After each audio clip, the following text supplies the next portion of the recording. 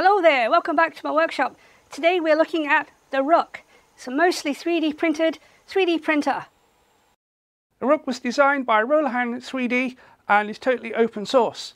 The idea is that we use as many old parts from old printers and things that we've upgraded as possible and we print the frame. So it's very easy to get going. There's only a few parts that you might need to order. So let's take a look at my Rook. So here you can see the Rook and it's very small. The dimensions are 23 by 30 by 40 depending on the options that you choose. The bed is 120 by 120 and approximately 100 on the Z. The motion system is a Core XY, so no moving of the bed. That means that we can print faster. The tool head is made to be as light as possible. The original one used an external blower fan, but I've decided to print what's called the Rookery. And this is a custom one made by Kulsafa over on the Discord. The board that I'm using is the MKS Skipper, SKIPR, and that's an all-in-one board and it contains the MCU for controlling the actual printer and also a Raspberry Pi alternative. So Klipper runs on the one board. We don't need to have a separate controller and Raspberry Pi. My top and bottom parts are printed in uh, Eryone Sparkle Black. The bed frame is printed in black PETG just because it was on the printer that I needed to use. The motion system parts are printed in polycarbonate carbon fibre and it almost ruined my Prusa but it was all worth it. They look fantastic. Let's get a print going. So we'll just do a classic mini jowl and I still have some high five blue.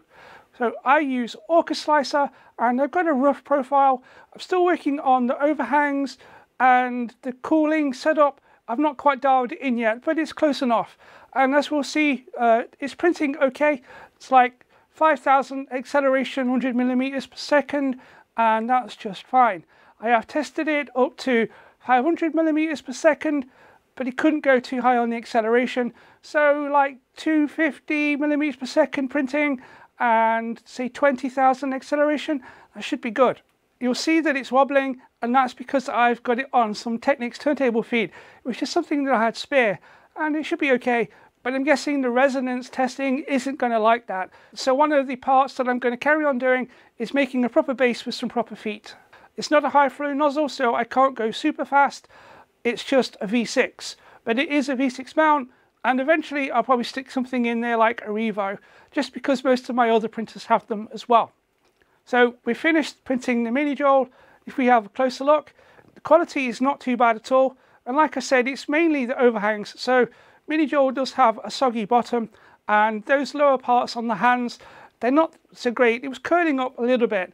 But like I said, it's early days on setting up the profile. And overall, I'm very, very happy with how it prints. So thank you for looking at this. I will put a link in the description to all the GitHubs and all the files and the parts that I brought, everything that you would need to build your own Rook. And I recommend that you head on over to the Rook Discord and join in. Absolutely fantastic bunch of people. They're all really, really helpful. And just the fact that uh, I, I literally turned up there and within a couple of hours somebody had made me a custom tool head. You can't really ask for more than that. The 3D print community just continues to be amazing. So thank you for looking at this. Other projects are still going on. The Atari 28 joystick and a Spectrum Plus style keyboard. I'm very close on that one. So there will be more videos coming soon. Thanks. Bye.